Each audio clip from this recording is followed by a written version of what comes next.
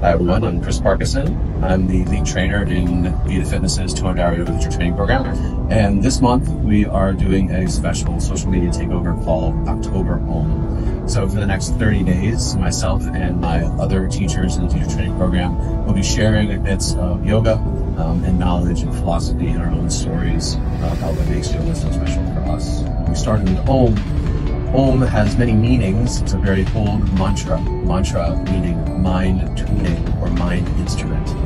It's the sound and vibration of the universe. In a lot of other lineages, it's not only the beginning, but the middle and the end of all things in the manifest universe. Sometimes hear it at the beginning, sometimes the end of yoga classes. It creates a spaciousness within us.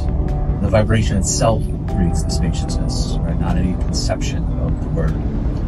So stay tuned for the next 30 days while we give you all there is in our own experiences about the Sunday practice of yoga. Take care.